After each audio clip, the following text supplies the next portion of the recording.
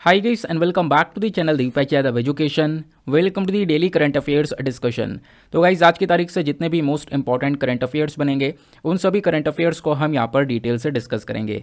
ये video UPSC और state PSC के पॉइंट ऑफ़ व्यू से बहुत ज़्यादा इंपॉर्टेंट हो जाता है। तो चलो शुभारंभ करते हैं बट आगे बढ़ने से पहले अगर आप लोग को इस लेक्चर का पी डी एफ़ चाहिए तो क्या करना है? सबसे पहले डाउनलोड करना टेलीग्राम देन उसके बाद जाके सर्च बॉक्स में टाइप करना Deepak Yadav education as you can see guys आप लोग को ये वाला चैनल मिल जाएगा। यहाँ से आप लोग डेली बेसिस पर इस लेक्चर के पीडीएफ को डाउनलोड कर सकते हो। साथ ही साथ में, अगर आप लोग मेरे साथ में पर्सनली कनेक्ट करना चाहते हो तो क्या करना है? इंस्टाग्राम पे जाना सर्च बॉक्स में टाइप करना दीपक यादव एजुकेशन आपको मेरा प्रोफ़ाइल मिलेगा। वहाँ पर ऑलरेडी दस हज़ार से ज़्यादा लोग जुड़ चुके हैं। आप भी मेरे साथ में जुड़कर जो अपनी क्वेरीज हैं, वो पूछ सकते हो। स्टार्ट करेंगे सेशन को, लेकिन सेशन को आगे बढ़ाने से पहले मैं आपको बता दूँ, वैसे इस वीडियो के अंदर मैं ज़्यादातर फोकस करूँगा इंडियन एक्सप्रेस के ऊपर। इंडियन एक्सप्रेस के जो भी रेलिवेंट आर्टिकल्स होंगे आज के, साथ ही साथ में एडिटोरियल्स हाँ बिल्कुल जो इंपॉर्टेंट एडिटोरियल्स होंगे, उनको भी मैं यहीं पर कवर कर दूँगा, बहुत ही ज़्यादा इंटरेस्टिंग वे में। और आपको प्रॉपर नोट्स भी मिलेंगे बैकग्राउंड इन्फॉर्मेशन भी मिलेगी। मतलब आपका द हिंदू न्यूज़पेपर तो मॉर्निंग में कवर हो ही रहा है, शाम को इंडियन एक्सप्रेस पूरी तरह से कवर हो रहा है। इंडियन एक्सप्रेस के साथ साथ आपके पीआईबी डाउन टू अर्थ और लाइवमेंट के जो इंपॉर्टेंट आर्टिकल्स होंगे, जो हमारे सिलेबस से लिंक हो रहे होंगे हमारा सिलेबस का हिस्सा होंगे यूपीएससी ने सवाल पूछे होंगे ऐसे टॉपिक से तो उन टॉपिक्स को कवर किया जाएगा। मतलब नो टाइम वेस्ट केवल और केवल इंपॉर्टेंट कंटेंट ही आपको इस पूरे वीडियो के अंदर मिलने वाला है, जो कि एग्ज़ाम से रिलेटेड है।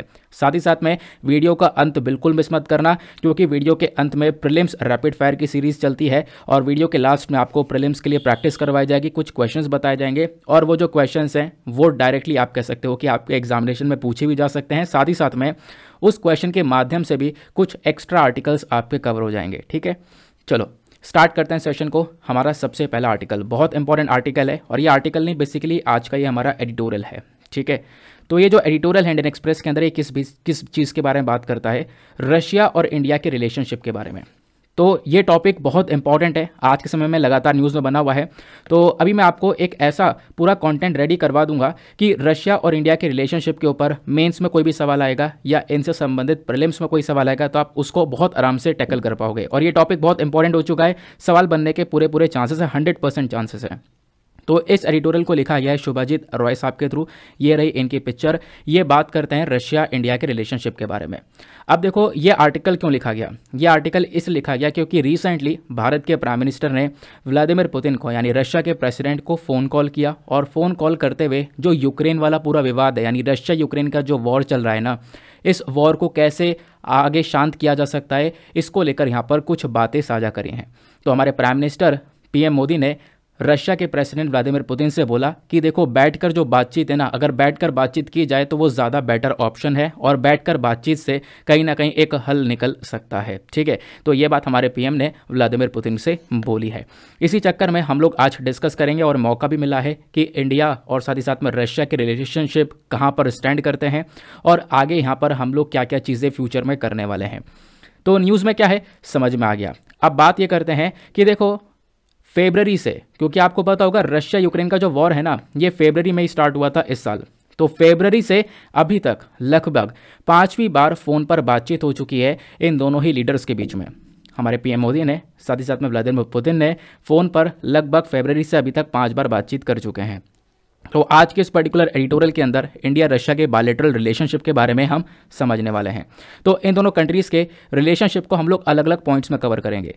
सबसे पहली चीज़ पॉलिटिकल रिलेशन इन दोनों देशों के बीच में पॉलिटिकल रिलेशंस कहाँ पर स्टैंड करते हैं, इसको समझेंगे। देखो अक्टूबर 2000 के अंदर, साल 2000 के अंदर अक्टूबर के महीने में एक पार्टनरशिप साइन करी गई थी declaration on the India Russia strategic partnership जब से इसको साइन किया है ना, तब से ही इंडिया रशिया के जो रिलेशनशिप है, वो बहुत ज़्यादा मज़बूत होते हुए नज़र आए, एक नई तरीके से आगे बढ़ते हुए नज़र आए। फिर उसके 10 साल बाद, यानी कि साल 2010 में, एक अगेन एक स्ट्रेटेजिक पार्टनरशिप को फिर से क्या कर दिया, हमने और मज़बूत कर दिया। अब हमने इस पार्टनरशिप को एक स्पेशल स्ट्रेटजिक पार्टनरशिप के अंदर कन्वर्ट कर दिया। फिर आप देखोगे, इतनी ज़्यादा मज़बूत हो गई रिलेशनशिप इन दस सालों के अंदर कि आने वाले कुछ और सालों के अंदर इंडिया ने बहुत सारे जो सामान है, वो रशिया से परचेज़ किया। काफ़ी सारे हथियार यहाँ पर रशिया से परचेज़ किए। फिर साल 2019 में रशिया ने हमारे प्राइम मिनिस्टर को एक रशिया का ही एक हाईएस्ट अवार्ड दिया है। रशिया का हाईएस्ट अवार्ड है order of state Andrew the apostle करके। तो ये वाला अवार्ड हमारे पीएम मोदी को रिसेंटली दिया गया है रशिया की साइड से। ये रशिया का ही अपना खुद का एक हाईएस्ट और एक सबसे पुराना अवार्ड है, जो कि रिसेंटली पीएम मोदी को दिया गया। बात क्लियर हो गई। फिर उसके बाद में आप देखोगे कि इन दोनों ही देशों के बीच में एनुअल समिट भी होते हुए नज़र आए। काफ़ी बार यहाँ पर बातचीत की गई है। है ना व्लादिमिर पुतिन ने पीएम मोदी ने काफ़ी सारे अलग अलग समिट के अंदर बहुत सारा डिस्कशन भी किया है और ये हर साल ऐसे डिस्कशन चलता हुआ नज़र आ रहा है, जिसके बेसिस पर दोनों के रिलेशंस और ज़्यादा मज़बूत लगातार हो रहे हैं। अब, एक और बहुत इंपॉर्टेंट पॉइंट है, वो है बायोलिटरल ट्रेड दोनों देशों के बीच में जो व्यापार है, वो कहाँ पर स्टैंड करता है? तो राइटर ने यहाँ पर कुछ इंपॉर्टेंट फैक्ट्स मेंशन करे हैं, जो कि आप डायरेक्टली अपने मेंस में मेंशन कर सकते हो. भारत का जो बायोलिटरल ट्रेड है, जो व्यापार है रशिया के साथ में, आप देखोगे, ये अभी साल 2022-23 के अंदर ना बहुत ज़्यादा अल्टीमेट लेवल पर चल रहा है. साल 2022-23 में सारे रिकॉर्ड तोड़ दिए हैं इंडिया रशिया ने व्यापार के मामले में. इस बार ऑल टाइम जो व्यापार है, वो हाई है. कितने रुपए तक का हुआ है? इसको हम अगर डॉलर्स में देखें तो 18,229.03 मिलियन यूएस डॉलर्स का व्यापार हुआ है इस साल। इस साल अप्रैल से अगस्त के महीने में केवल और केवल इतने महीनों में इतने रुपए तक का व्यापार हुआ। इतने डॉलर्स का बेसिकली व्यापार हुआ। ये 2022 की बात कर रहा हूँ यानी जिस साल में हम अभी के समय पर चल रहे हैं। अब आप देखो कि जो 18,000 मिलियन डॉलर्स का जो हमने व्यापार किया था ना इसमें से भारत ने ज़्यादातर इंपोर्ट किया है। कितना इंपोर्ट किया है? 17,236.29 मिलियन डॉलर्स का तो केवल और केवल हमने इंपोर्ट किया है। इतने डॉलर्स का सामान हमने केवल और केवल मंगाया है। मतलब जो ये व्यापार है कहीं ना कहीं एक नेगेटिव ट्रेड में चल रहा है। नेगेटिव ट्रेड बैलेंस मतलब हम लोग को थोड़ा सा घाटा देखने को मिलेगा। घाटा किस सेंस में अगर हम बात करें तो हम लोगों ने रशिया को एक्सपोर्ट कम किया है। रशिया से इम्पोर्ट बहुत ज़्यादा किया है। ठीक है? और अगर हम बात करें तो ऑब्वियस ही बात है, इस अट्ठारह हज़ार में से सत्रह हज़ार तक का सत्रह हज़ार मिलियन डॉलर तक का हम लोगों ने क्या किया? हम लोगों ने यहाँ पर इतना इंपोर्ट किया है। एक्सपोर्ट हम लोगों ने केवल और केवल 992.73 मिलियन डॉलर्स का किया है। तो ट्रेड बैलेंस एक नेगेटिव ट्रेड बैलेंस है, क्योंकि हमारा जो एक्सपोर्ट है, वो ना के बराबर है और जो इम्पोर्ट है, वो बहुत ज़्यादा है। लेकिन आप देखोगे इम्पोर्ट हमने कुछ इंपॉर्टेंट चीज़ों का किया है। किस चीज़ का? ये अभी मैं आगे बताऊँगा, लेकिन उससे पहले एक चीज़ और समझना। ये जो मैंने अभी ऊपर डेटा बताया आपको, ये साल 2022 से इसका है, इस साल व्यापार एक उच्च स्तर पर है। लेकिन उससे पहले अगर हम बात करें तो 1997 से लेकर 2003 तक आप देखोगे तो इस व्यापार में इंडिया को ज़्यादा फ़ायदा हुआ करता था, भारत बहुत कुछ यहाँ पर एक्सपोर्ट किया करता था रशिया को। बट अभी के समय पर भारत काफ़ी सारी चीज़ें इम्पोर्ट कर रहा है। ठीक है, ये रहा रशिया ऊपर। और इधर यहाँ पर रशिया की कैपिटल मॉस्को, नीचे आपको यहाँ पर इंडिया देखने को मिल जाता है। आगे आते हैं। अब आप देखोगे, ये तो मैंने रिलेशनशिप के बारे में ऑलरेडी आपको बता दिया है। आगे की कहानी को कवर करते हैं। अब एक चीज़ ध्यान रखना, ये तो अभी खैर रशिया कहलाता है। 1991 से पहले ये रशिया नहीं हुआ करता था, ये यूएसएसआर हुआ करता था, यानी कि सोवियत यूनियन।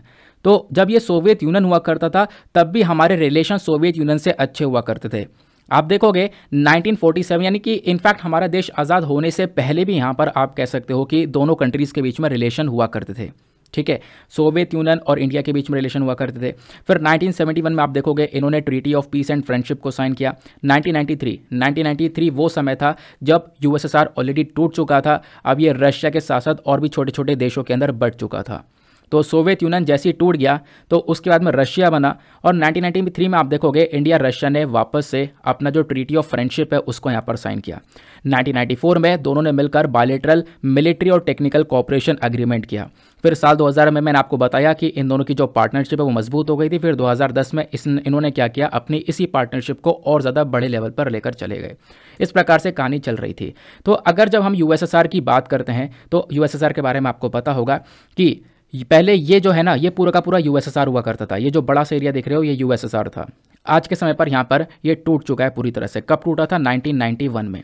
और इसके टूटने के बाद में टोटल इसमें से पंद्रह देश निकल कर आए थे, जिसमें से जो आपको रेड कलर का दिख रहा है, ये पूरा का पूरा रशिया है। इसके अलावा Estonia Latvia Lithuania Belarus Ukraine Moldova Georgia Armenia Azerbaijan Kazakhstan Uzbekistan Turkmenistan Kyrgyzstan Tajikistan ये जितने भी देश हैं, ये सब यहाँ पर इसी पर्टिकुलर रीजन से टूट कर निकले हैं सोवियत यूनियन से टूट कर निकले हैं। ठीक है? तो ये बात आपने ध्यान में रखनी है। क्लियर हो गया? अभी मैंने आपको इतनी इन्फॉर्मेशन दी। उससे पहले मैं आपके साथ में क्या डिस्कस कर रहा था? रशिया, यूक्रेन के सॉरी रशिया और इंडिया के व्यापार के मामले में। तो 2022 से इसके अंदर इनका व्यापार एक बहुत बड़े लेवल पर चला गया, मैंने आपको समझा दिया। और ये बड़े लेवल पर क्यों चला गया? क्योंकि इस बार हमने ये देखा कि जैसे ही रशिया यूक्रेन का युद्ध स्टार्ट होता है फरवरी में, उसके बाद से रशिया के ऊपर लगातार काफ़ी सारे देशों ने सेंक्शंस लगा दिए। इनफैक्ट यूरोपियन यूनियन के जो पूरे कंट्रीज़ उन्होंने सेंक्शंस लगाए यूएस ने सेंक्शंस लगाए, ढेर सारे सेंक्शंस आज के टाइम पर रशिया के ऊपर लग चुके हैं। तो सबने बोल दिया कि रशिया से कोई व्यापार नहीं करेगा। रशिया ने क्या किया? रशिया ने बोला कि हम अपना कच्चा तेल, यानी जो क्रूड ऑयल है वो बेच रहे हैं, इसको डिस्काउंटेड प्राइस पे बेचेंगे, सस्ते दाम में बेचेंगे। आप देखोगे, दुनिया भर की कंट्री से ज़ोर डाला गया बाकी सारे देशों के ऊपर कि कोई भी रशिया से व्यापार नहीं करेगा, लेकिन भारत ने लगातार रशिया से व्यापार को कायम रखा। हम लगातार व्यापार करते चले गए और हमने ढेर सारा कच्चा तेल इसी समय में मंगाया और बहुत ज़्यादा सस्ते दाम में कच्चा तेल मंगाया।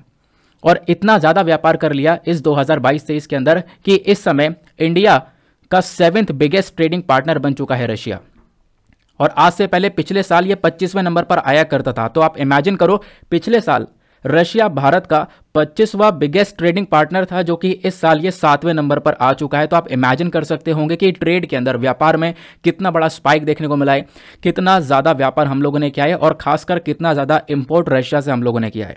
ठीक है? तो आज के समय पर सातवें नंबर पर आने वाला यहाँ पर रशिया देश है, जिसके साथ में सबसे ज़्यादा हमारा व्यापार है। उसके अलावा स्टार्टिंग के छह देश कौन कौन से हैं? तो सबसे नंबर वन पर है US then China then UAE Saudi Arabia Iraq Indonesia ये तो हो गए टोटल छह कंट्रीज़ जिसके साथ में सबसे ज़्यादा व्यापार है। उसके अलावा सातवें नंबर पर आ जाता है रशिया। बात क्लियर हो गई। अब मैंने आपको बताया कि जो व्यापार बढ़ा है, इसके पीछे का रीज़न क्या है? रीज़न वही है कि लगातार वॉर हुआ, उसके बाद यहाँ पर रशिया पे सैंक्शन लगे रशिया ने डिस्काउंटेड वे में जो अपना सामान है वो बेचा, हम लोगों ने यहाँ पे लगातार परचेज़ किया। फिर एक और चीज़ निकल कर आती है, हमने आखिरकार रशिया से ख़रीदा क्या? दो दो इंपॉर्टेंट चीज़ें हैं जो कि सबसे ज़्यादा हमने परचेज करी है इस टाइम पीरियड के अंदर। एक तो फर्टिलाइज़र जो खाद है उसके अलावा जो फ्यूल है, जो कच्चा तेल है, वो परचेज किया है हमने। अगर आप देखोगे, खाद और कच्चा तेल का जो इम्पोर्ट है, वही केवल 91 परसेंट का है। इक्यानवे परसेंट इम्पोर्ट हमने केवल इन्हीं दोनों चीज़ों का किया है इस साल।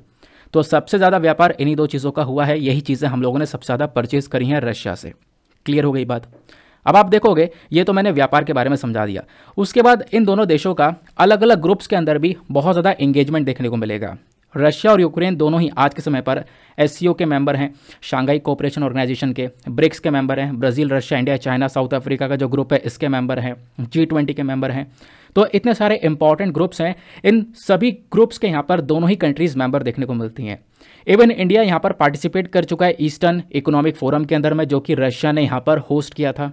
उसके बाद इंडिया रशिया जापान ने मिलकर जनवरी 2021 में भी एक मीटिंग रखी थी। तो जितने भी इंपॉर्टेंट ग्रुप्स हैं, वहाँ पर दोनों कंट्रीज़ अपने एक दूसरे के पार्टिसिपेशन को बहुत ज़्यादा सपोर्ट भी करती हैं। बात क्लियर हो गई। अब बात करते हैं इन दोनों देशों के डिफेंस कोऑपरेशन के बारे में। यानी डिफेंस का मामला कैसे चल रहा है, ये बहुत ज़्यादा इंपॉर्टेंट पॉइंट है। इस पॉइंट के ऊपर थोड़ा ज़्यादा ज़ोर देना। देखो, आज के समय में इंडिया के पास में जितने भी हथियार हैं जो हमारी इंडियन आर्मी, नेवी और साथ ही साथ में एयरफोर्स इस्तेमाल कर रही है।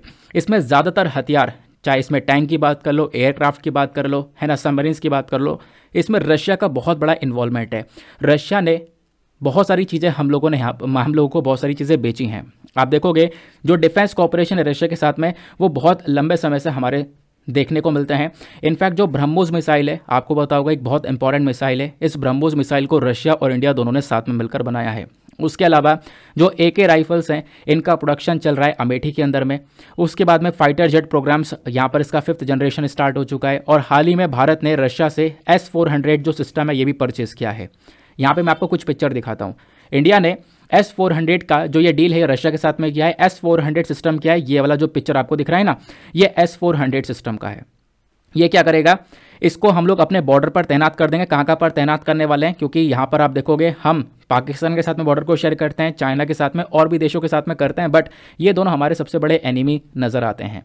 ठीक है? तो यहाँ पर बॉर्डर पर सबसे ज़्यादा डिस्प्यूट रहता है। तो इस वजह से हम ये ये रीजन आपको दिख रहे हैं ना, यहाँ यहाँ पर इस पर्टिकुलर जो यहाँ डिफेंस सिस्टम है, इसको तैनात करेंगे। ये क्या करेगा? ये उड़ती हुई मिसाइल को हवा में ही मार गिराएगा। ठीक है, अगर ये मिसाइल आ रही होगी, इन, अगर मान लो पाकिस्तान कोई मिसाइल दागता है, चाइना कोई मिसाइल दागता है तो ये अगर हमारे बॉर्डर पर तैनात होगा ये सिस्टम तो उस मिसाइल को हवा में ही गिरा देगा, धरती पर गिरने नहीं देगा, हमारे लैंड पर गिरने ही नहीं देगा। ठीक है तो ये बेसिकली यहाँ पर एस फोर हंड्रेड सिस्टम है, जिसको हमने रशिया से परचेज़ किया है। बात क्लियर हुई। फिर उसके बाद आप देखोगे, कई सारी और भी अग्रीमेंट्स कर रखे हैं। आज के समय में इंडिया के पास में, हमारी आर्मी के पास में जितने भी बैटल टैंक है ना, उसमें 90 percent battle tank Russian origin है, रशिया के सपोर्ट से हम लोग लेकर आए चाहे वो टी सेवेंटी टू हो, चाहे वो टी नाइन्टी वाले बैटल टैंक हो। एयरक्राफ्ट करियर इंडियन नेवी में है, वो बेसिकली यहाँ पर सोवियत एरा के समय का है।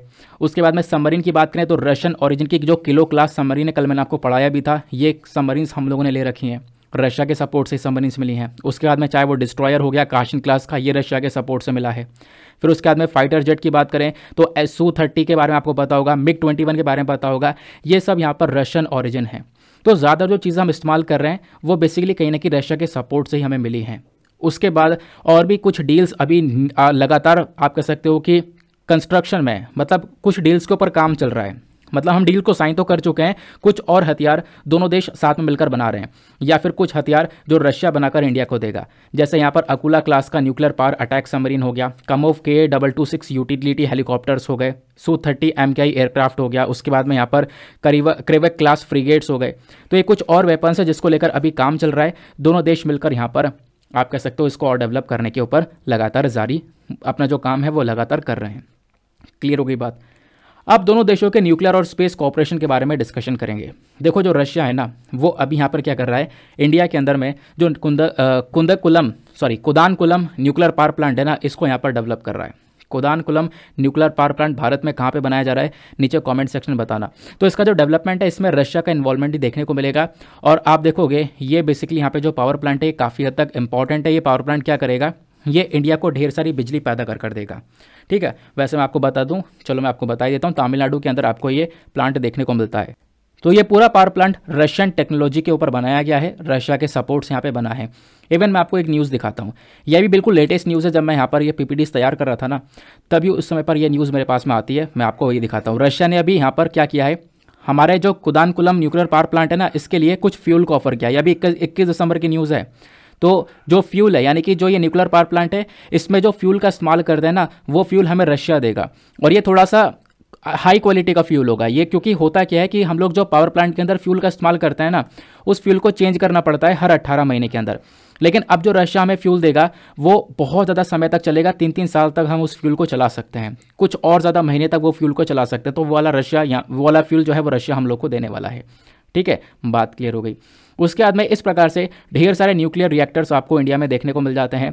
यहाँ पर राजस्थान में, उत्तर प्रदेश में, महाराष्ट्र में, कर्नाटका में, तमिलनाडु में और उसके बाद में यहाँ पर आप देखोगे अलग अलग जगह पर ये न्यूक्लियर पावर प्लांट्स नज़र आएँगे। अगर हम बात करें दुनिया भर में कौन कौन से देश हैं जहाँ पर सबसे ज़्यादा न्यूक्लियर रिएक्टर्स हैं, जहाँ से बिजली का उत्पादन हो रहा है, वहाँ पे यूएस में है सबसे ज़्यादा न्यूक्लियर रिएक्टर्स, उसके बाद में फ्रांस आ जाता है, चाइना है, रशिया है, साउथ कोरिया है, इंडिया है, कनाडा, यूके, यूक्रेन और जापान जैसे देश आपको यहाँ पर देखने को मिलेंगे। विकीपीडिया की साइट क्या बोलती है? जो लेटेस्ट डेटा है, वो यहाँ पर बोलता है कि नवंबर 2020 तक भी अगर हम बात करें तो इंडिया के अंदर टोटल 22 न्यूक्लियर रिएक्टर्स है। नवंबर 2020 तक का ये डेटा है, ठीक है? तो हमारे पास में टोटल 22 न्यूक्लियर रिएक्टर्स हैं और अभी यहाँ पर 10 और ज़्यादा न्यूक्लियर रिएक्टर्स के ऊपर काम चल रहा है, ये कंस्ट्रक्शन में है, ठीक है? तो ये यहाँ पर एक पर्टिकुलर करंट डेटा हो गया। तो ये थे ओवरऑल इंडिया और रशिया की रिलेशनशिप ध्यान रखना, आपको एग्जामिनेशन में हेल्प करेगा और डायरेक्टली मेंस के अंदर आप इन चीज़ों का इस्तेमाल कर सकते हो। मतलब एक पूरा तरह से बना बनाया कॉन्टेंट आपको मिल चुका है। बस खाली एग्ज़ाम में कोई क्वेश्चन आएगा तो इसी उठाकर डायरेक्टली वहाँ पर चेप देना है, बस काम हो जाएगा। ठीक है? तो ये चीज़ें मैंने आपको ऑलरेडी बता दी हैं। आगे आते हैं नेक्स्ट आर्टिकल पर। लेकिन अगले आर्टिकल पर बढ़ने से पहले मेक श्योर करना वीडियो पे जो लाइक का बटन है उसको प्रेस कर देना। यार, एक छोटा सा टारगेट होता है टू के प्लस लाइक्स का आप इतना कर ही सकते हो। जब मैं इतना कर रहा हूँ तो आप इतना सपोर्ट कर सकते हो, है ना? और अच्छा लगता है यार जब सपोर्ट मिलता रहता है और वीडियो भी आगे यहाँ पर बढ़ता रहता है। नेक्स्ट इंपॉर्टेंट आर्टिकल होने वाला है वैनेड राइस फेस्टिवल को लेकर।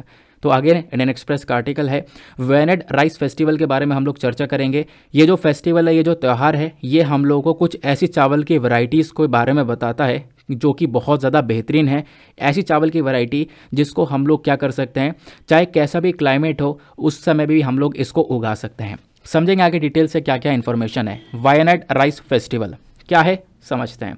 सबसे पहली बात, हमारे पास में न्यूज़ क्या है? न्यूज़ ये है कि देखो, केरला के अंदर एक ऑर्गेनाइजेशन है, एक बॉडी है, जिसका नाम है थनल तो इन्होंने क्या किया? एक एक्सपेरिमेंट किया।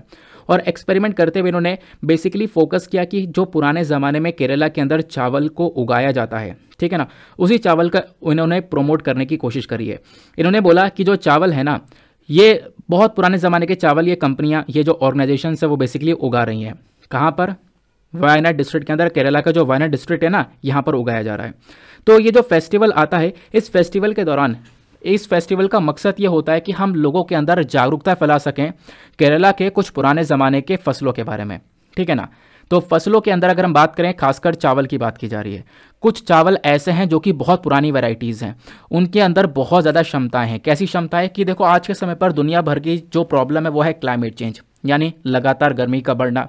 और अगर गर्मी ज़्यादा हो जाएगी तो इससे क्या होगा? जो हमारी फ़सलें हैं, वो सही से उग नहीं पाती हैं। है ना? वो फ़सलों को डैमेज करती हैं। लेकिन कुछ चावल की वैरायटीज़ हमारे पास में ऐसी हैं जो कि वो गर्मी को भी मात दे सकती हैं, उस क्लाइमेट चेंज कंडीशन के अंदर भी बहुत अच्छे से ग्रो कर सकती हैं। तो उसके बारे में यहाँ पर बताया गया है, ठीक है?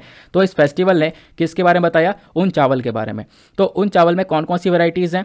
तो ज़्यादातर जो वैरायटीज़ है, उसमें आती है एक थोंडी वैरायटी थोंडी वैरायटी और दूसरे आता है black rice variety Thondi variety की बात करें तो इस प्रकार से आपको ये थोंडी वैरायटी देखने को मिलती है। ये ऑर्गेनिक राइस है काले काले करके आपको यहाँ पर ये चावल देखने को मिलते हैं। इसके अंदर बहुत सारा न्यूट्रिशन देखने को मिलेगा।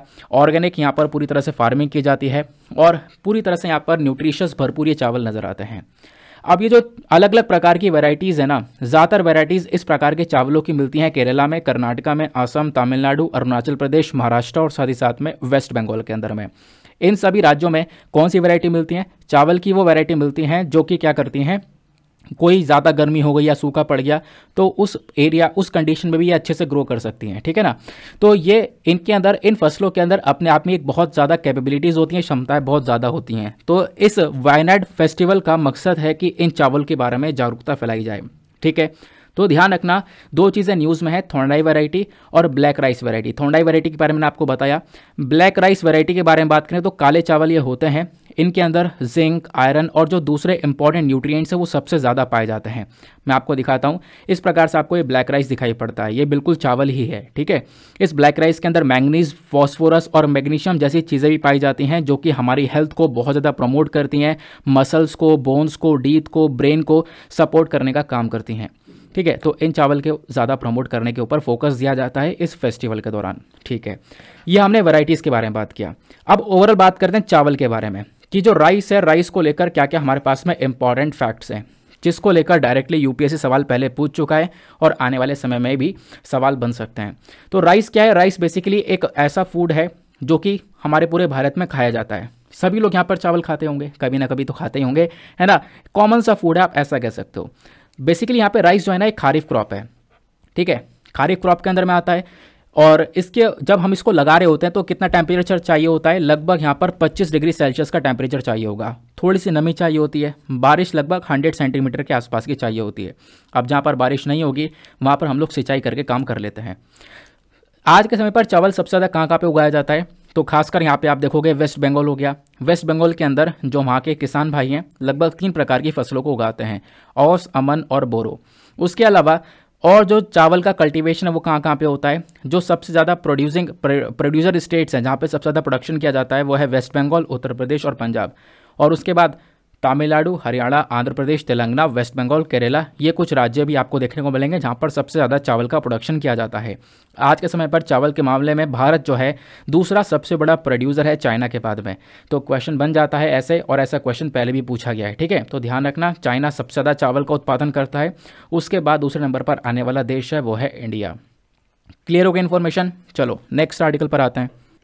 ना आता है यहाँ पर नेक्स्ट इंपॉर्टेंट आर्टिकल देखो वर्ल्ड बैंक की एक रिपोर्ट आई है एयर पोल्यूशन को लेकर. आप समझ, आप सोच रहे होंगे, बहुत आसान सा आर्टिकल हुआ एयर पोल्यूशन के बारे में बात कर रहे हैं, ऐसा कुछ भी नहीं है. बहुत इंपॉर्टेंट और इंटरेस्टिंग आर्टिकल है और एग्ज़ाम के लिए बहुत इंपॉर्टेंट है. आप देखोगे, मैं डायरेक्टली वर्ल्ड बैंक की वेबसाइट पर गया था और वर्ल्ड बैंक की वेबसाइट से ही मैंने इस डायरेक्ट पूरे आर्टिकल को निकाला है और इसकी सारी इन्फॉर्मेशन आपके साथ में शेयर करी है. मतलब बिल्कुल ऑथेंटिक इन्फॉर्मेशन आपको मिलने वाली है. ठीक है? तो वर्ल्ड बैंक ने यहाँ पर आप कह सकते हो कि बोला है कि बिल्कुल एक अर्जेंट एक्शन की ज़रूरत है। एक बहुत ज़्यादा ज़रूरत ज़रूरी है कि हम एक एक्शन लें और इस डेडली एयर पोल्यूशन को कम करें। और बोला यह गया कि जो ये एयर पोल्यूशन है, ये कोई एक देश अपने आप कम नहीं कर पाएगा। अगर आप कहो कि इंडिया एयर पोल्यूशन को कम कर सकता है, ऐसे कम हो ही नहीं सकेगा। इंडिया के आसपास के जो देश हैं, हमारे पड़ोसी देश हैं, उनको भी ये पोल्यूशन कम करना होगा, तभी ये हमारे देश में भी पोल्यूशन कम हो पाएगा। कैसे? तो मैं आपको इसी के बारे में बताने वाला हूँ। तो वर्ल्ड बैंक ने अभी रिसेंटली एक रिपोर्ट रिलीज़ करी है, जिसका नाम है striving for clean air air pollution and public health in South Asia basically इस रिपोर्ट के अंदर, खासकर साउथ एशिया वाले रीजन के ऊपर थोड़ा सा ज़्यादा ज़ोर दिया गया है।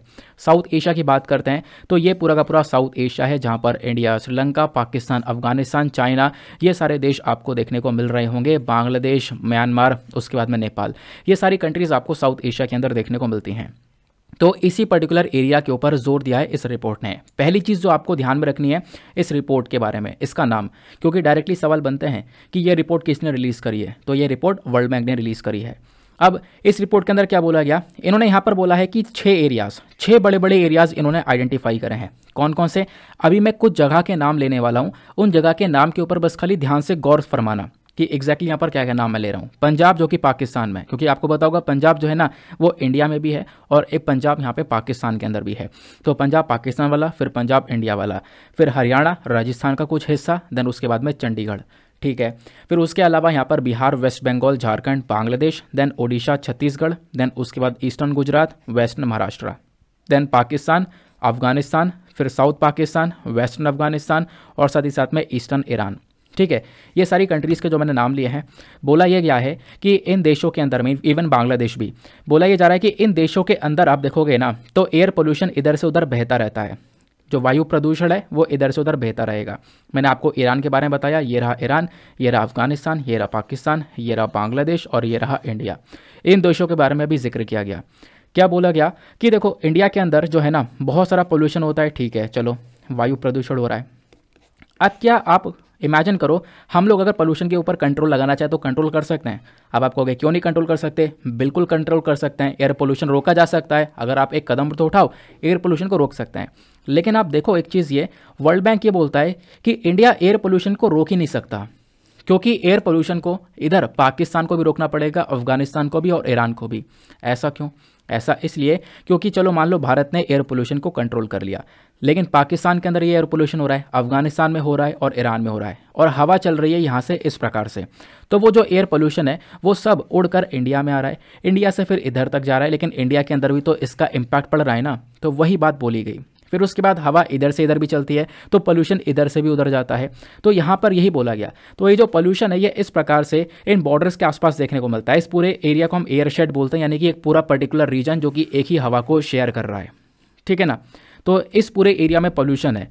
और मैंने वही बोला कि एक देश अगर चाय पोल्यूशन को कम करना तो ऐसा नहीं होगा। यहाँ पर सभी देशों को, जो साउथ एशिया के अंदर सभी कंट्रीज़ हैं, इनको साथ में मिलकर काम करना होगा। ठीक है? आगे आते हैं।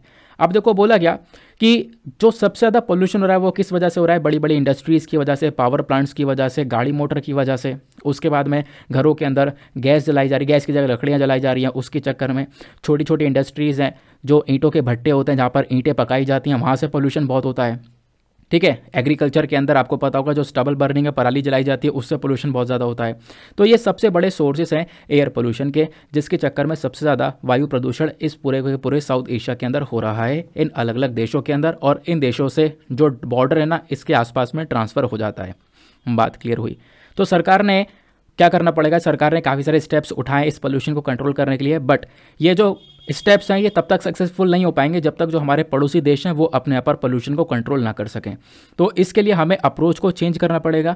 इन कंट्रीज़ के साथ में भी आकर हम लोगों को क्या करना पड़ेगा? कोऑर्डिनेट करना पड़ेगा। इनके साथ में बातचीत करने के बाद हमें पोल्यूशन को कंट्रोल करना पड़ेगा। वो बात इस पर्टिकुलर आर्टिकल के अंदर बताई गई। ठीक है? अब एयर शेड क्या होता है? मैंने आपको बता दिया। एक कॉमन जोग्राफिक एरिया जैसे साउथ एशिया है ना, ये पूरा का पूरा बेसिकली एक ही एरिया को शेयर कर रहा है। यहाँ पर जो हवा है वो बिल्कुल सिमिलर एयर क्वालिटी है। एयर क्वालिटी एक ही लेवल की है, इधर से उधर भाग रही है तो सबको साथ में मिलकर काम करना पड़ेगा। एक देश को काम करने से या एक देश के पोल्यूशन कम करने से कुछ नहीं होने वाला। बाकी इंडिया अपनी तरफ़ से कोशिश कर रहा है। भारत ने अलग अलग प्रकार के कई सारे कदम उठाए हैं एयर पोल्यूशन को कंट्रोल करने के लिए। जैसे एक आप देखोगे नेशनल क्लीन एयर कैंपेन ये कैंपेन हम लोगों ने 2019 में लॉन्च किया था। इसका मकसद क्या है कि वायु प्रदूषण को कम करना, लगभग इंडिया के अंदर जितने भी शहर हैं, उसमें से एक सौ इकतीस शहरों के अंदर में। ये हमारा टारगेट था। फिर उसके बाद में हमने सफ़र पोर्टल को बनाया। System of air quality and weather forecasting research. इसका काम क्या है? इस पोर्टल का काम है कि जो वेदर है, जो मौसम है, उसको यहाँ पर उसका अंदाज़ा लगाना, उसकी फोरकास्टिंग करना। फिर एयर क्वालिटी इंडेक्स को तैयार किया गया। एयर क्वालिटी इंडेक्स के अंदर आपको आठ पोलूटेंट्स देखने को मिलेंगे। मतलब हम क्या करते हैं एयर क्वालिटी इंडेक्स के तहत जो अलग अलग एरियाज़ हैं, वहाँ की जो हवा की क्वालिटी है, उसको मापते हैं। अब कैसे मापते हैं? उस हवा के अंदर अलग अलग पॉल्यूटेंट्स को मेजर किया जाता है।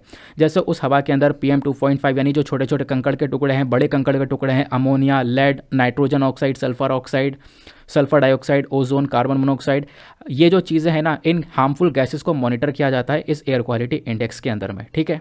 ये बात यहाँ पे आपने ध्यान में रखनी है। फिर उसके बाद में हमने क्या किया? जो हमारे किसान भाई हैं, उनको सब्सिडी दे रहे हैं ताकि वो किसान भाई क्या कर सकें? टी मशीन को खरीद सकें। Turbo happy seeder machine turbo happy seeder machine क्या करेगी? ये जड़ से पराली को उखाड़ देगी।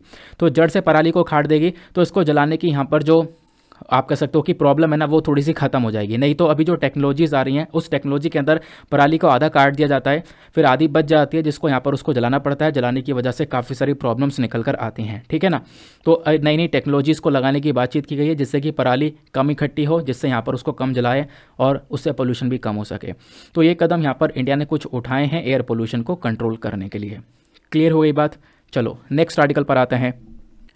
नाउ अगला आर्टिकल बहुत इंपॉर्टेंट होने वाला है। ये पीआईबी का है, ठीक है? तो पीआईबी से आर्टिकल को उठाया गया है। सरकारी वेबसाइट है। सरकार ने डायरेक्टली डेटा पब्लिश किया है। तो ये आपके लिए एग्ज़ाम के लिए काफ़ी बहुत मतलब बहुत ज़्यादा इंपॉर्टेंट होता है।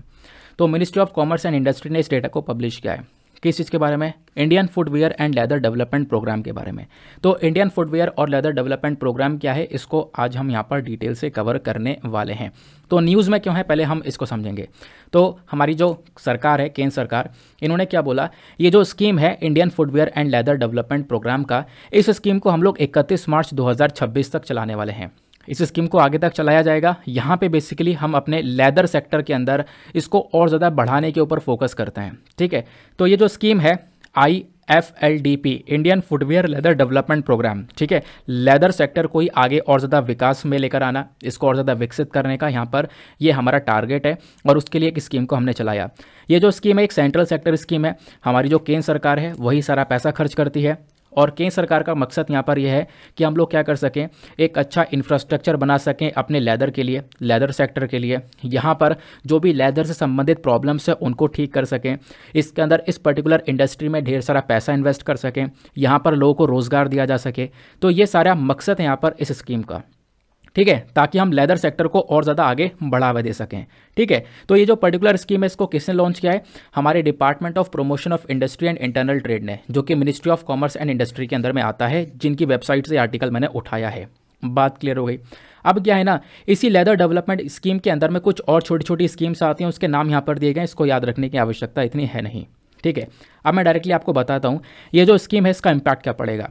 ये जो प्रोग्राम है, ये डायरेक्टली किसको फ़ायदा पहुँचाने वाला है? देखो, इस प्रोग्राम के माध्यम से लोगों के लिए रोज़गार जनरेट होगा, इस पर्टिकुलर लेदर इंडस्ट्री के अंदर में। स्पेशली वेमेन के ऊपर थोड़ा फोकस दिया जाएगा, महिलाओं के लिए थोड़ा ज़्यादा रोज़गार जनरेट किया जाएगा। लोगों के अंदर जो स्किल है, उसको डेवलप करने के ऊपर काम किया जाएगा, इस स्कीम के तहत। ठीक है? इस इंडस्ट्री को ज़्यादा एनवायरमेंट फ्रेंडली बनाया जाएगा, यानी इस इंडस्ट्री से कोई प्रदूषण ना हो, ये हम लोग थोड़ा फोकस करेंगे। इसके मामले में हम लोग अपने लेदर के प्रोडक्शन कैपेबिलिटी को और ज़्यादा बढ़ाने वाले हैं। हम लोग फोकस करेंगे कि मेल और फीमेल दोनों को बराबर यहाँ पर आप कह सकते हो इक्वालिटी मिले इस पर्टिकुलर इंडस्ट्री में, कोई भेदभाव ना हो दोनों के बीच में। तो ये हमारे टारगेट्स हैं इस पर्टिकुलर स्कीम के तहत। बात क्लियर हो गई? तो फोकस क्या है इस स्कीम का? हमारी लेदर इंडस्ट्री को आगे ग्रो करना। अब हम डिस्कस करते हैं कि आखिरकार इंडिया का जो लेदर इंडस्ट्री है, वो कहाँ पर स्टैंड करता है। हम लोग लेदर के मामले में कितना अच्छा कर रहे हैं, इसके बारे में इंफॉर्मेशन देता हूँ। जो लेदर इंडस्ट्री है इंडिया के अंदर में, आप देखोगे, दुनिया भर में जितना भी लेदर का प्रोडक्शन होता है ना, उसका तेरह परसेंट प्रोडक्शन केवल भारत के अंदर ही किया जाता है। और हमारा सालाना का प्रोडक्शन आप देखोगे बहुत बड़ा है। ये जो इंडस्ट्री है, ये जानी जाती है अपने एक्सपोर्ट की वजह से। हम लोगों को सबसे इंपॉर्टेंट फ़ायदा इस पर्टिकुलर इंडस्ट्री से ये मिलता है कि हम लेदर का ढेर सारा सामान एक्सपोर्ट करते हैं। काफ़ी सारे देशों को एक्सपोर्ट करके वहाँ से पैसा कमाते हैं। इंडिया के अंदर आप देखोगे लेदर का जो रॉ मटेरियल है, वो भरपूर मात्रा में अवेलेबल है। ठीक है? तो उसी का हम लोग इस्तेमाल करके लेदर को बनाते हैं। लेदर इंडस्ट्री एक एम्प्लॉय एम्प्लॉयमेंट इंटेंसिव इंडस्ट्री है। यहाँ पे ढेर सारे लोगों को रोज़गार मिला हुआ है। कितने लोगों को? लगभग चार मिलियन से ज़्यादा, चालीस लाख से ज़्यादा लोग काम कर रहे हैं इस पर्टिकुलर इंडस्ट्री में। और ज़्यादातर जो वीकर सेक्शंस के लोग हैं, ठीक है ना? जिनकी जो फाइनेंशियल हेल्थ है वो इतनी अच्छी नहीं है। वो लोग ज़्यादातर यहाँ पर इस पर्टिकुलर इंडस्ट्री से एसोसिएटेड देखने को मिलेंगे। अब जो वेमेन एम्प्लॉयमेंट है, ये बहुत इंपॉर्टेंट है और ये सबसे ऊपर है इस लेदर प्रोडक्ट्स के अंदर में। इस इंडस्ट्री में थर्टी परसेंट तक जो वेमेन है, वो आज के समय पर उनको रोज़गार मिला हुआ है, वो काम कर रही हैं। इंडिया के अंदर जो लेदर इंडस्ट्री है, ये आप कह सकते हो यहाँ पर जो यंग पीपल हैं, वो लगातार काम कर रहे हैं। पचपन परसेंट ऐसे लोग हैं जिनकी उम्र पैंतीस साल से कम है। यानी कि बहुत सारे जो यूथ हैं, वो इस पर्टिकुलर इंडस्ट्री से एसोसिएटेड देखने को मिलेंगे। अब 2022 से अगर हम लोग बात करें तो जो भारत है, ये सेकेंड लार्जेस्ट प्रोड्यूसर है फुटवेयर का, यानी कि आपको पता होगा इसी चमड़े से जूते चप्पल बनाए जाते हैं, है ना? कुछ लेदर गारमेंट्स बनाए जाते हैं बेल्ट वगैरह बनाई जाती है पर्स वगैरह बनाया जाता है, काफ़ी कुछ चीज़ें बनाई जाती हैं। तो इस मामले में भारत जो है ना, दूसरा नंबर पर आने वाला सबसे बड़ा प्रोड्यूसर है, जो कि हम लोग जूते, चप्पल और ये सारी चीज़ें बनाते हैं लेदर की। और ऑब्वियस ही बात है प्रोड्यूसर बहुत बड़े हो गए प्रोड्यूसर के साथ साथ हम क्या करते हैं सामान एक्सपोर्ट भी करते हैं। तो सेकेंड लार्जेस्ट हम एक्सपोर्टर भी हैं। हम लोग लेदर के काफ़ी सारे जो प्रोडक्ट्स हैं, वो एक्सपोर्ट करते हैं दुनिया भर के देशों के अंदर में, ठीक है? तो इंडिया के अंदर में सबसे ज़्यादा जो लेदर के सेंटर्स हैं, वो कहाँ कहाँ पर हैं? वो आपको तमिलनाडु, आंध्र प्रदेश वेस्ट बंगाल उत्तर प्रदेश, महाराष्ट्र, पंजाब, हरियाणा और दिल्ली में देखने को मिलेंगे। सबसे बड़े मार्केट यानी दुनिया भर में कौन कौन से देशों के अंदर हम लेदर से बने हुए सामान को भेजते हैं? तो उसमें आ जाता है America, Germany UK Italy France Spain Netherland UAE China Hong Kong Belgium और पोलैंड तो यूएसए अमेरिका की बात करें तो अमेरिका अपने आप में एक सबसे बड़ा इंपोर्टर है लेदर और लेदर से बने हुए सामान का, ठीक है? तो सबसे ज़्यादा सामान अमेरिका हम लोगों से परचेज करता है। हमारे देश का जितना भी एक्सपोर्ट है लेदर का, उसका ट्वेंटी परसेंट एक्सपोर्ट हम केवल और केवल अमेरिका को ही करते हैं। बात क्लियर हो गई? तो इस पर्टिकुलर इंडस्ट्री के बारे में ध्यान रखना, आपसे यहाँ पर सवाल बन सकता है। नेक्स्ट आर्टिकल पर आते हैं। अगला आर्टिकल लाइव मिंट का है, बहुत इंपॉर्टेंट मैंने आपको बताया ना कुछ कुछ आर्टिकल्स ऐसे होंगे जो कि अलग अलग सोर्सेज से लिए हुए गए होंगे, लेकिन वो हमारे एग्ज़ाम के लिए बहुत इंपॉर्टेंट होंगे। तो यहाँ पे क्या बात की जा रही है? अलग अलग स्कीम्स के बारे में बातचीत की जा रही है। तो रिसेंटली यहाँ पर एक कदम उठाया गया है, वो कदम क्या है, मैं आपको समझाता हूँ। प्रधानमंत्री विरासत का संवर्धन स्कीम तो ये स्कीम क्या है? एक नई स्कीम है न्यूज़ में है, आपको पता होनी चाहिए इसके बारे में। तो न्यूज़ क्या है? कि देखो, इस स्कीम का नाम ना पहले कुछ और हुआ करता था। क्या नाम था? प्रधानमंत्री कौशल को काम कार्यक्रम। ये नाम हुआ करता था। लेकिन अब इसका नाम चेंज कर दिया गया। इसका नाम चेंज करके पीएम विकास कर दिया गया है। प्रधानमंत्री विरासत का संवर्धन स्कीम नाम यहाँ पर इसको दे दिया गया है। तो नाम इसका बदल दिया गया, इस वजह से ये न्यूज़ में है। तो इस स्कीम के बारे में सारी जानकारी लेनी है आपको। सबसे पहली चीज़, ये जो स्कीम है, ये एक सेंट्रल सेक्टर स्कीम है। जो हमारी केंद्र सरकार है, वही सारा पैसा यहाँ पर खर्च करती है। इस स्कीम का मकसद क्या है? इसका मकसद है फोकस करना, खासकर जो वेमेंस हैं, जो माइनॉरिटी आर्टिजन कम्युनिटी की वेमेंस हैं, यानी कि जो अलग अलग कलाकारी करती हैं, आप देख पाओगे इस प्रकार से यहाँ पे कलाकार होती हैं, है ना? अलग अलग पॉटरीज़ के ऊपर कला बनाना, ये सारे यहाँ पर आर्टिजन्स होते हैं। तो होता यहाँ पर यह है कि इनको और ज़्यादा स्किल्स प्रोवाइड करवाना, इनको ट्रेनिंग प्रोवाइड करवाना, ताकि ये और ज़्यादा बेहतर आगे काम कर सकें, ठीक है ना? और ज़्यादा बेहतर कमाई कर सकें। तो उसके लिए यहाँ पर इस पर्टिकुलर स्कीम को चलाया गया है। देखो, यहाँ पे ये जो स्कीम है ना, ये कहीं ना कहीं एक इंटीग्रेटेड स्कीम है। इंटीग्रेटेड मतलब इसके अंदर अलग अलग पाँच स्कीम को कवर किया गया है। पहली स्कीम है सीखो और कमाओ। सीखो और कमाओ क्या है, मैं आपको थोड़ा सा बताता हूँ। इसके अंदर अगेन हम लोग क्या करते हैं, महिलाओं की, खासकर यहाँ पर जो भी हैं, लोग हैं, उनके स्किल डेवलपमेंट के ऊपर काम करते हैं, उनकी जो स्किल्स हैं, उसको और ज़्यादा अच्छा किया जाता है। और इसके चक्कर में, उससे यहाँ पर जब उनको चीज़ें सीखने को मिलती है तो उससे वो ढेर सारा पैसा कमा भी पाते हैं। तो सीखो और कमाओ स्कीम भी इसी के अंदर में आती है। फिर उसके बाद उस्ताद। उस्ताद मतलब upgrading the skills and training in traditional art and crafts of development इसका मकसद भी क्या है कि जो हमारे पुराने ज़माने के आर्ट्स एंड क्राफ्ट है, पुराने ज़माने की कलाकारी जो है, लोग यहाँ पे अलग अलग कलाएँ बनाते हैं, उसको प्रमोट करना। वो कहीं खो ना जाए ना तो उसको प्रमोट किया जाए, उसको प्रोडक्शन प्रोवाइड करवाया जाए, उसके लिए यहाँ पर एक पर्टिकुलर स्कीम है। फिर हमारी धरोहर हमारी धरोहर को लेकर आया गया ताकि हमारा जो ये पुराने ज़माने की, जो ये माइनॉरिटी कम्युनिटीज़ ये कलाकारी करती हैं, इसको यहाँ पे एक प्रोटेक्शन प्रोवाइड करवाया जाए। फिर Nai Roshni scheme Nai Roshni scheme basically एक डेवलपमेंट प्रोग्राम है वेमेन के लिए। जो वेमेन माइनॉरिटी कम्युनिटी से बिलोंग करती है ना, उनके लिए यहाँ पर इस पर्टिकुलर स्कीम को चलाया गया है। खासकर उन वेमेन के लिए जिनकी उम्र 18 से पैंसठ साल की है।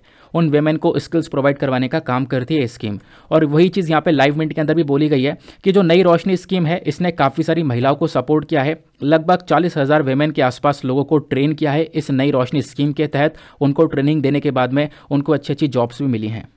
ठीक है? ये बात क्लियर हुई। फिर उसके बाद में नई मंजिल।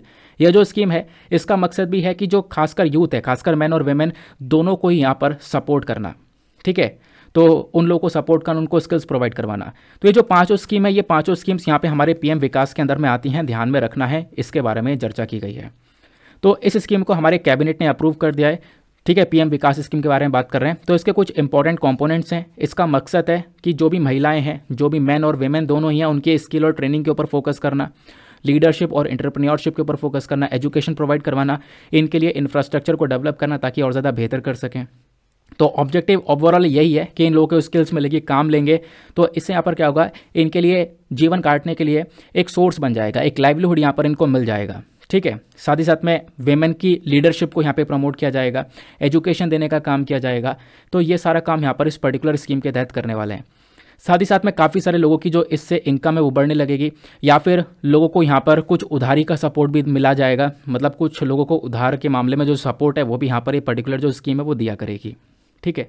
तो ये यहाँ पर आपको इस स्कीम के बारे में ध्यान में रखना है। ये एक इंपॉर्टेंट आर्टिकल था हमारा, ये भी हम लोगों ने कवर कर लिया। नेक्स्ट आर्टिकल पर आते हैं। अगला आर्टिकल आप देखोगे, ये बेसिकली यहाँ पे अलग अलग न्यूज़पेपर के अंदर ऑलरेडी पब्लिश हो चुका है। हमने अभी तक कवर नहीं किया है तो उसको हम लोग कवर करेंगे। तो आर्टिकल क्या है? यहाँ पर बात की जा रही है केरला के बारे में। तो केरला के लगभग पाँच प्रोडक्ट्स हैं जिनको अभी जीआई टैग दिया गया है। तो वो पाँच प्रोडक्ट्स कौन कौन से जिनको जीआई टैग मिला है, उसके बारे में जान लेना। आपसे डायरेक्टली सवाल बन जाते हैं कि किस किस सामान को जीआई टैग मिला है। ऐसे डायरेक्टली क्वेश्चन बने हैं पहले भी। तो आगे भी बन सकते हैं। चलो फिर स्टार्ट करते हैं। अब यार, हो क्या रहा है ना? बीच बीच मेरी सांस फूल रही है, मैं दूसरा काम भी कर रहा हूँ अपना। तो वीडियो को मैं पॉज कर करके बार बार चले जाता हूँ वो काम करने के लिए। अब मैं दौड़ के आ रहा हूँ तो बार बार मेरी सांस फूलती हुई नज़र आ रही है। कोई बात नहीं, थोड़ा सा कभी कभी ऐसा होता रहता है। तो दोनों ही काम देखने को मिल, देखने पड़ रहे हैं। अब वीडियो को पॉज कर करके मैं यहाँ पर रिकॉर्ड कर रहा हूँ। मैं सोचा यार कहीं लेट ना हो जाए ज़्यादा, क्योंकि दूसरा काम भी मेरे पास में। तो उस चक्कर में मैं वो काम भी, ये काम भी दोनों देखने में थोड़ा सा सांस फूलती हुई नज़र आ रही है। कोई बात नहीं। ये वाला आर्टिकल देखते हैं। इस आर्टिकल को मैंने बताया कि अलग अलग न्यूज़पेपर ने जो है ना ऑलरेडी कवर कर रखा है। हम लोग यहाँ पर बात करने वाले हैं, केरला के अंदर में लगभग पाँच प्रोडक्ट्स ऐसे हैं जिनको अभी जीआई टैग दिया गया है। और वो पाँच एग्रीकल्चरल प्रोडक्ट्स हैं। वो एग्रीकल्चरल प्रोडक्ट्स कौन कौन से हैं, उनके नाम आपने ध्यान में रखने हैं। उन पाँचों सामान के नाम मैं आपको बता रहा हूँ। यहाँ पर आपको देखने को मिलेगा। ठीक है? एक मतलब ये पाँचों सामान, ये, इनकी पाँचों की पिक्चर आपको नज़र आएगी। ठीक है? एक का नाम क्या है? ओनातुकारा एलू। फिर एक है कोदंगालूर पोतु वेलारी देन अतपड़ी औतु कोम्बू अवरा देन उसके बाद में अतपड़ी थुवरा देन उसके बाद में कंथालूर, वातावड़ा, वेलुथिली। ये बेसिकली केरला के पर्सपेक्टिव से नाम बताए गए हैं। अभी मैं आपको बताऊँगा सरल भाषा में कैसे यहाँ पर नाम ध्यान रखना है। तो वैसे यहाँ पर ये जो पाँच एग्रीकल्चरल प्रोडक्ट्स हैं, इनको जीआई टैग दिया गया है। ठीक है? इसके अलावा रिसेंटली जो गमोसा है गमोसा बेसिकली एक कपड़ा है असम के अंदर में। बहुत फ़ेमस कपड़ा है, बहुत पुराने ज़माने का है। उसको भी जीआई टैग मिला है। फिर अलीबाग की जो व्हाइट अनियन है महाराष्ट्र में, उसको भी जी टैग मिला है। फिर लद्दाख के राख कार्पो एप्रिकॉट जो है, इसको भी जीआई टैग मिला है। फिर तंदूर रेड ग्राम जो है, तेलंगाना का इसको भी जीआई टैग मिला है। तो इतने सारे सामानों को रिसेंटली जीआई टैग मिला है, आपको पढ़ना है। खासकर केरला के इन पाँचों जीआई टैग्स के बारे में बताता हूँ मैं। जो ये अतपड़ी अतु कोम्बू अवरा है ना, ये बेसिकली एक बीन है। बीन आपने खाई भी होगी तो इस प्रकार से ये बीन्स नज़र आती हैं, ठीक है ना? तो ये केरला की इंपॉर्टेंट बीन है। खासकर पता है, इसको जीआई टैग इसलिए दिया गया क्योंकि जीआई टैग क्यों दिया जाता है? जीआई टैग अपने आप में उस पर्टिकुलर जो प्रोडक्ट है, उसकी क्वालिटी बहुत ज़्यादा होती है है ना? उसकी अपने आप में हाई क्वालिटीज़ होती हैं तो उसको हम लोग जी आई टैग प्रोवाइड करवाते हैं। तो ये जो बीन्स हैं इनको जी आई टैग इसलिए दिया गया क्योंकि इसके अंदर एंथोसियानिन कॉन्टेंट पाया जाता है। एंथोसियानिन कॉन्टेंट अब ये एंथोसियानिन करता क्या है, मैं आपको बता दूँ, ये बहुत मददगार होता है कार्डियोवास्कुलर डिज़ीज़ वाले पेशेंट्स के अंदर में। यानी किसी को दिल से संबंधित दिल वाली बीमारियाँ हैं ना, उनके लिए बहुत ज़्यादा मददगार साबित होता है। उसके बाद में किसको डायबिटी है तो उसमें भी बहुत कारीगर साबित होती है ये वाली बीन, ये बीन खाई जा सकती है। है ना? उसके बाद में सबसे इंपॉर्टेंट चीज़, जब आप इसको उगाओगे तो उसमें कीड़े नहीं लगते। ये एक अच्छी बात यहाँ पर नज़र आती है। ठीक है? तो पहली चीज़ तो ये हो गई जिसको जीआई टैग मिला। दूसरा यहाँ पर क्या है? अतपड़ी थुबरा। इसको हम लोग रेड ग्राम बोलते हैं, यानी लाल चना। ये कैसा दिखाई पड़ता है आपको इस प्रकार से नज़र आ रहा होगा। ठीक है ना? लाल चना जो है। तो आप देखोगे, ये लाल चना को भी जीआई टैग मिला। क्यों? क्योंकि यहाँ पर ये जो सीड्स हैं इसकी, जो बीज हैं, वो बहुत इंपॉर्टेंट है। थोड़े से बड़े साइज़ के बीज होते हैं और इनका वेट वगैरह थोड़ा सा ज़्यादा होता है। ठीक है? तीसरी चीज़ क्या है? ओनातु करा एलू ये क्या है? ये सीसम है। ठीक है? तो ये कैसा दिखाई पड़ता है? आपको यहाँ पर इस प्रकार से नज़र आ रहा होगा। ब्लैक कलर का ये सीसम है। ठीक है? तो हुआ क्या कि ये जो सीसम है, इसका जो तेल है ना, ये बहुत फ़ेमस है। क्योंकि इसके तेल के बहुत सारे हेल्थ बेनिफिट्स हैं। इसके अंदर एंटीऑक्सीडेंट कंटेंट बहुत ज़्यादा पाया जाता है, जिससे क्या होगा कि जो फ्री रेडिकल्स होते हैं, जो कि आपके बॉडी की जो कोशिकाएँ उसको डैमेज करते हैं तो उन फ्री रेडिकल से लड़ने में मदद करता है ये तेल। तो ये जो तेल है, इसका बहुत ज़्यादा मददगार साबित होता है। इसके अंदर अनसेचुरेटेड फैट है, यानी कि जो दिल से संबंधित जो पेशेंट्स हैं, जिनको दिल की बीमारियाँ हैं, उनके लिए बहुत ज़्यादा कारीगर साबित होता है ये वाला तेल। दूसरी चीज़ ये हो गई। तीसरा यहाँ पर कंथालूर वतावड़ा वेलुथी यानी एक प्रकार की गार्लिक है। एक प्रकार की अदरक यहाँ पर देखने को मिलेगी। आप जब दूसरी गार्लिक से, दूसरी अदरकों से इसको कंपेयर करोगे ना तो इस वाली अदरक में सल्फाइड, फ्लेविनॉइड, प्रोटीन, ये बहुत चीज़ें पाई जाती हैं। उसके बाद में एसेंशियल ऑयल्स भी इस प्रोडक्ट के अंदर बहुत ज़्यादा पाए जाते हैं। इसके अंदर ऐसी प्रॉपर्टी है कि इन्फेक्शन से लड़ सकता है। जो शुगर हो गया कैंसर हो गया, इन बीमारियों से भी यहाँ पर लड़ने में काफ़ी हद तक मददगार साबित होती है ये वाली अदरक, जिसके बारे में मैंने आपको बताया, ठीक है? अब सॉरी मैं अदरक बोल रहा हूँ ना गार्लिक लहसुन होता है यार। मैं अदरक बोल रहा हूँ सॉरी सॉरी सॉरी ठीक है? अदरक जिंजर होता है गार्लिक लहसुन होता है, मैं लहसुन की बात कर रहे हैं, ठीक है? ये लहसुन की बात कर रहे हैं। मेरे चौथी चीज़ क्या है? चौथी चीज़ है कोदांगुलूर पोतोवेलरी, ठीक है ना? इसको हम लोग स्नैप पेलन के नाम से जानते हैं। स्नैप पेलन अब ये कैसा दिखाई पड़ता है? आप यहाँ पर देख पाओगे, ये रहा स्नैप पेलन ठीक है? ये जो बड़े बड़े साइज़ का ये स्नैप मेलन है। अब इसके बारे में बात कर लेते हैं। तो ये जो स्नैप मेलन है ना, ये हार्वेस्ट किया जाता है, ये उगाया जाता है समर के समय में गर्मियों के समय में। इसके अंदर वाइटामिन सी बहुत ज़्यादा पाया जाता है। उसके बाद में बोला गया, इसके अंदर काफ़ी सारे न्यूट्रिएंट्स पाए जाते हैं।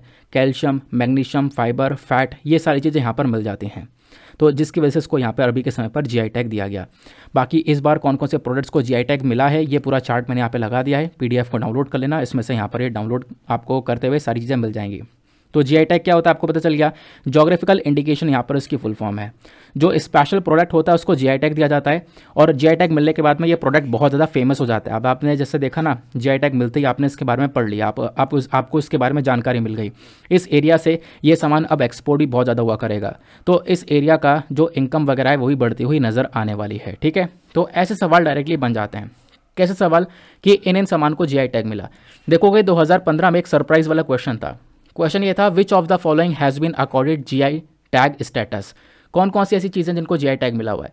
तो बनारस ब्रोकेट्स एंड सारीस, राजस्थानी दाल बट्टी चूरमा, या फिर यहाँ पर तिरुपति लड्डू। बताओ किस किस को जीआई टैग मिला? तो यहाँ पर ऑप्शन दिए गए इसका ऑप्शन है सी वन एंड थ्री ठीक है? ये सारीज हो गई और तिरुपति लड्डू। इनको जीआई टैग मिला था। ठीक है ना?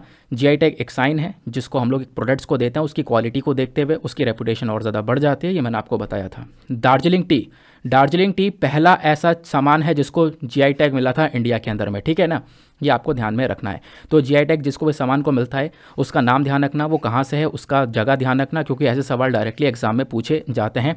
कई सारे वनडे एग्जामिनेशन भी पूछ लिए जाते हैं। अगले आर्टिकल पर आते हैं। नेक्स्ट आर्टिकल ये हमारा पी से लिया गया है। यहाँ पे बात की गई है काजिंद 2022 के बारे में। काजिंद बेसिकली एक अभ्यास है। तो इंडिया और कजाकिस्तान के बीच में एक ट्रेनिंग अभ्यास होता है, एक एक्सरसाइज होती है, जिसको हम लोग काजिंद बोल कहते हैं। तो अब की बार छठा एडिशन हुआ है काजिन 2022 का। ये जो छठा एडिशन है, कहाँ पे कंडक्ट किया गया? मेघालय के अंदर जो उमरोई है ना, यहाँ पर यह अभ्यास हुआ है। किस किस के बीच में? कजाकिस्तान और भारत के बीच में। ठीक है?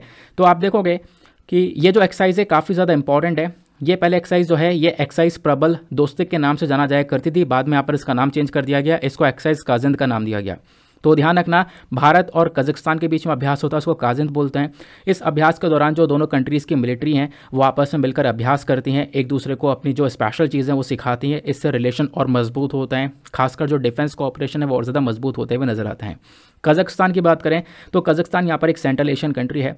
तो रशिया के पास में कजाकिस्तान देखने को मिलेगा। ऊपर रशिया है, नीचे उज्बेकिस्तान है, किर्गिस्तान है, चाइना है है ना? नीचे जाओगे तो आपको इंडिया देखने को मिलेगा। तो यह रहा कजाकिस्तान। कजाकिस्तान के पास में कैस्पियन सी भी नज़र आता है। आपको यहाँ पर ये कैस्पियन सी नज़र आ रहा होगा, ठीक है? आगे आते हैं। तो कजाकिस्तान के बारे में जान लिया। कजाकिस्तान भारत के लिए इंपॉर्टेंट है इंपॉर्टेंट इसलिए क्योंकि कजाकिस्तान के अंदर ढेर सारी एनर्जी पाई जाती है। एनर्जी मतलब जो यूरेनियम वगैरह है, ये दुनिया का सबसे बड़ा प्रोड्यूसर है यूरेनियम का कजाकिस्तान। तो इंडिया के लिए थोड़ा सा इंपॉर्टेंट हो जाता है। बाकी कुछ बहुत सारी इंपॉर्टेंट ग्रुप्स होते हैं, जैसे confidence building measures in Asia हो गया Shanghai Cooperation Organisation United Nation Organisation होगी ये कुछ इंपॉर्टेंट बॉडीज़ हैं। इन बॉडीज़ के अंदर भी इंडिया और कजाकिस्तान साथ में मिलकर कॉपरेट करते हैं और कजाकिस्तान का सपोर्ट इंडिया के लिए होता है इंडिया का सपोर्ट कजाकिस्तान के प्रति होता है इन सारी की सारी बॉडीज़ के अंदर में। बात क्लियर हो गई। तो ये था हमारा पूरा का पूरा इंडियन एक्सप्रेस का एनालिसिस ठीक है, जिसमें हमने एडिटोरियल और इंपॉर्टेंट आर्टिकल्स को कवर किया। अब हम बात करेंगे प्रिलिम्स रैपिड फायर सीरीज़ के बारे में। तो प्रिलिम्स के लिए कुछ इंपॉर्टेंट क्वेश्चन है, फटाफट हम इसको कवर करने वाले हैं। सबसे पहला question with reference to Indian historical record committee consider the following statements जो इंडियन हिस्टोरिकल रिकॉर्ड कमिटी है ना, इसके रेफरेंस में दो स्टेटमेंट दिए गए हैं। पहला, इस कमेटी को हेड किया जाता है मिनिस्ट्री ऑफ़ कल्चर के थ्रू दूसरा, जो नेशनल आर्काइव ऑफ़ इंडिया है न्यू दिल्ली के अंदर, ये बेसिकली हेडक्वार्टर है इस कमेटी का।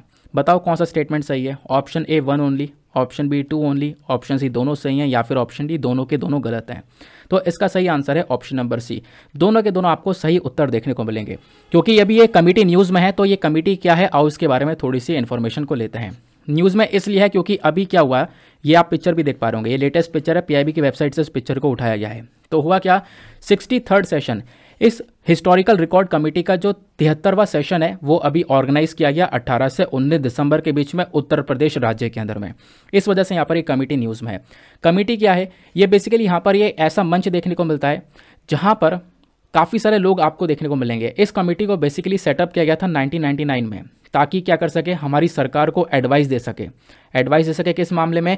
जो हिस्टोरिकल रिसर्च है हिस्टोरिकल रिकॉर्ड्स हैं, हमारे जो ऐतिहासिक रिकॉर्ड्स हैं, उसको कैसे मैनेज करना है, इस पर्टिकुलर मामले के रिगार्डिंग ये बॉडी एडवाइस देती है हमारी सरकार को। इसका जो सेक्रेटेरिएट इसका जो हेडक्वार्टर है, वो नेशनल आर्काइव्स ऑफ़ इंडिया में ही है। नेशनल आर्काइव ऑफ़ इंडिया जो कि न्यू दिल्ली के अंदर देखने को मिलती है। ये बेसिकली हमारी हिस्टोरिकल रिकॉर्ड कमेटी का ही हेडक्वार्टर है। ठीक है? तो आईएचआरसी को हेड कौन करता है? इस कमेटी को हेड किया जाता है हमारे कल्चर मिनिस्टर के थ्रू इसके अंदर टोटल 134 मेंबर्स होते हैं, जो कि अलग अलग सरकारी एजेंसी से आते हैं। सरकार के थ्रू नॉमिनेट करे हुए मेंबर्स होते हैं। कुछ रिप्रेजेंटेटिव होते हैं हमारी स्टेट के और यूनियन टेरिटरी के यूनिवर्सिटी के और कुछ इंस्टीट्यूशंस होते हैं, उनके भी यहाँ पे लोग देखने को मिलते हैं। तो आईएचआरसी के इसका ऑलरेडी बासठ सेशंस हो चुके हैं, जो तिरसठ सेशन है, वो अभी यहाँ पर हमने देखा अट्ठारह से उन्नीस दिसंबर के बीच में तिरसठ सेशन भी रखा गया था, जहाँ पे काफ़ी कुछ डिस्कशन किया गया। इस कमेटी के अंदर आप देखोगे, दो अलग अलग बॉडीज़ आती हैं एडिटोरियल कमेटी और स्टैंडिंग कमेटी इस कमेटी के अंदर भी तो छोटी छोटी कमेटियाँ नज़र आती हैं, आप इनके बारे में ध्यान में रख सकते हो। वैसे इसके अंदर कितने मेंबर्स हैं, वो बस खाली इतना ध्यान रखना, ये आपसे एग्जामिनेशन में पूछा जा सकता है। अगला क्वेश्चन अगला क्वेश्चन बात करता है नॉर्थ ईस्टर्न काउंसिल के बारे में। ये रिसेंटली बॉडी न्यूज़ में भी थी। तो नॉर्थ ईस्टर्न काउंसिल के रेफरेंस में आपको यहाँ पर दो स्टेटमेंट्स दिए गए हैं। बताना यह है कि कौन सा स्टेटमेंट सही है। पहला स्टेटमेंट बोलता है कि नॉर्थ ईस्टर्न काउंसिल जो है ना, ये कहीं ना कहीं हमारे एडमिनिस्ट्रेटिव परव्यू है मिनिस्ट्री ऑफ़ होम अफेयर्स का। मतलब मिनिस्ट्री ऑफ़ होम अफेयर्स के एडमिनिस्ट्रेशन के अंडर में ये बॉडी आती है। दूसरा यहाँ पे बोलता है कि इसके अंदर गवर्नर और चीफ मिनिस्टर देखने को मिलते हैं इस स्टेट के। और तीन मेंबर्स होते हैं जो कि प्रेसिडेंट जो है वो नॉमिनेट करते हैं। तो नॉर्थ ईस्टर्न काउंसिल के रिगार्डिंग बताओ इन दोनों स्टेटमेंट में से कौन सा स्टेटमेंट सही है? Option A one only option B two only option B C दोनों सही हैं या फिर ऑप्शन डी दोनों के दोनों गलत हैं? तो आओ इसके आंसर को देखते हैं। इसका आंसर है केवल और केवल ऑप्शन नंबर टू ठीक है? तो इसके अंदर गवर्नर होते हैं चीफ मिनिस्टर होते हैं, इन स्टेट्स के साथ ही साथ में तीन मेंबर्स होते हैं जो कि प्रेसिडेंट जो है वो नॉमिनेट करते हैं। चलो मैं आगे आपको बताऊँगा डिटेल से तो नॉर्थ ईस्टर्न काउंसिल का टॉपिक भी आपका कवर हो जाएगा।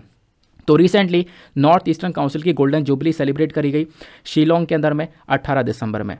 ठीक है? तो नॉर्थ ईस्टर्न काउंसिल जो है, कौन, किसके एडमिनिस्ट्रेशन के अंदर में आता है? तो हमारी जो ministry of development of north eastern region है, इसके अंडर में आता है। तो यहाँ पे क्वेश्चन में पूछा गया था मिनिस्ट्री ऑफ़ होम अफेयर के अंडर में। इस वजह से स्टेटमेंट वन गलत हो जाता है। ये मिनिस्ट्री ऑफ़ होम अफेयर के एडमिनिस्ट्रेशन के अंडर में नहीं आता, ये ministry of development of north eastern region के अंडर में आता है। दूसरा, जो नॉर्थ ईस्टर्न काउंसिल है, ये कोई संवैधानिक बॉडी नहीं है, ये एक स्टैचुरी बॉडी है, यानी कि इसको एक एक्ट के माध्यम से बनाया गया है, जो नॉर्थ ईस्टर्न काउंसिल एक्ट है 1971 वाला, इस एक्ट के माध्यम से इस बॉडी को बनाया गया। बाद में अमेंडमेंट भी किया गया इसके अंदर साल 2002 में। फिर एक और इम्पोर्टेंट चीज़, ये जो बॉडी है, एक नोडल एजेंसी है। नोडल एजेंसी एक इंपॉर्टेंट एजेंसी है हमारी इकोनॉमिक और सोशल डेवलपमेंट के लिए, खासकर नॉर्थ ईस्टर्न रीजन आपको पता होगा नॉर्थ ईस्टर्न रीजन के अंदर आठ राज्य आते हैं, सात बहनें और एक भाई। ठीक है, सात बहनें, एक भाई। कौन कौन है? देखो, सात बहनें के अंदर बात करें तो अरुणाचल प्रदेश असम मणिपुर, मेघालय, मिजोरम, नागालैंड, त्रिपुरा। ये सात राज्य एक साथ हो गए। सिक्किम थोड़ा सा अलग हो जाता है, एक भाई हो जाता है, आप ऐसे ध्यान रख सकते हो। तो ये टोटल आठ राज्य हैं, जो कि बेसिकली नॉर्थ ईस्टर्न रीजन के अंदर में आते हैं। तो इस पर्टिकुलर बॉडी का नॉर्थ ईस्टर्न काउंसिल का मकसद है, इन सभी राज्य के अंदर डेवलपमेंट करना इकोनॉमिक डेवलपमेंट करना सोशल डेवलपमेंट करना। इस काउंसिल के अंदर में हमारे गवर्नर होते हैं और इन राज्यों के चीफ मिनिस्टर्स होते हैं। साथ ही साथ में तीन लोग होते हैं जो कि प्रेसिडेंट नॉमिनेट करते हैं। तो नॉर्थ ईस्टर्न काउंसिल के रिगार्डिंग ये हमारे दोनों के दोनों स्टेटमेंट बिल्कुल सही हो जाते हैं। बात क्लियर हो गई? चलो, तीसरे प्रिलिम्स वाले क्वेश्चन की तरफ़ आते हैं। अगला क्वेश्चन बात करता है with reference to the स्वॉट स्वॉट recently news में था। स्वॉट का मतलब है surface water and ocean topography तो स्वॉट के रेफरेंस में आपको दो स्टेटमेंट्स दिए गए हैं।